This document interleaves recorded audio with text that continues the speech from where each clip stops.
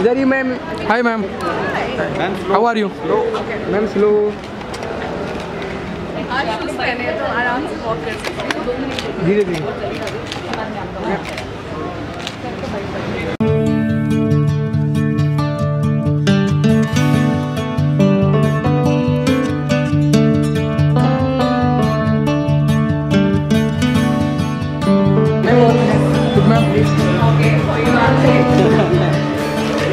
Ma'am लो camera लो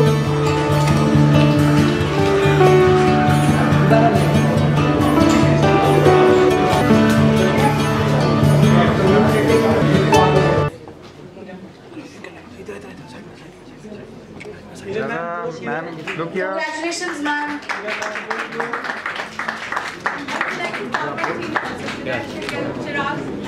खड़े हुए जो कोई नहीं बोलने वाला खड़े हो धक्का मत मारो.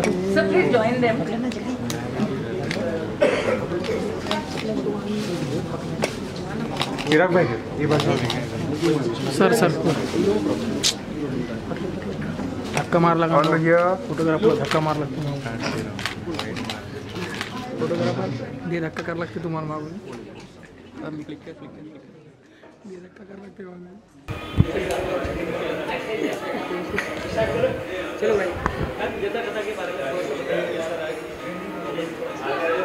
आपका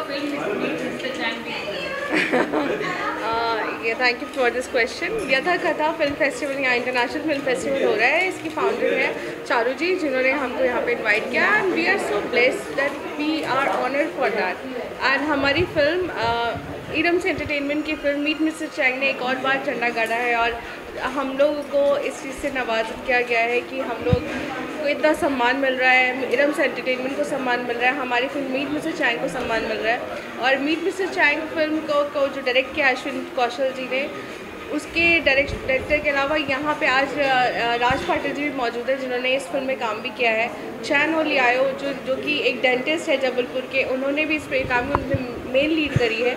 और ये फ़िल्म है, वैसे कहेंगे एक मानवता पे फ़िल्म है। हमने मानवता के लिए मैसेज दिया है racism is bad racism is dangerous than Covid Covid पे फ़िल्म है आप समझ सकते हैं।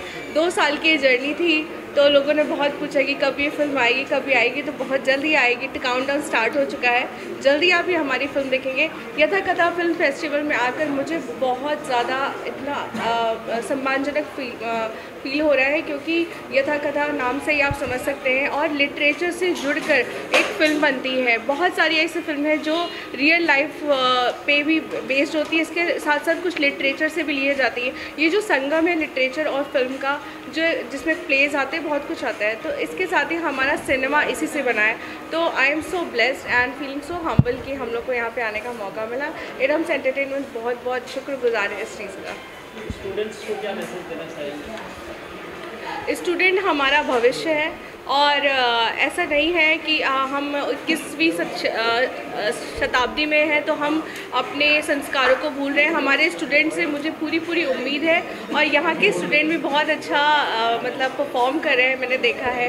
और ये फ़िल्म फेस्टिवल में उनका जो हमें सपोर्ट मिल रहा है वो सम्मानजनक है और सराहनीय है। दिवाली है दिवाली के लोग लोगों को क्या शुभकामना दिवाली तो एक फेस्टिवल है एक दीप प्रज्वलित करने का फेस्टिवल है पटाखे फोड़ने का फेस्टिवल है। लेकिन इसके साथ ही साथ जैसे जब प्रकाश आता है नई चीज़ें स्टार्ट होती हैं और हम नई नई चीज़ों को हम अपनी लाइफ में समागम करते हैं तो उसी के साथ साथ नई नई खुशियाँ लेकर आते हैं और जो जितनी भी बुराई बुरी चीज़ें वो निकल जाती हैं। उसी के साथ मैं आप सबको दिवाली की शुभकामनाएँ देती हूँ और मीडिया को भी बहुत बहुत थैंक यू बोलती हूँ। Happy Diwali to all of you thank you thank you thank you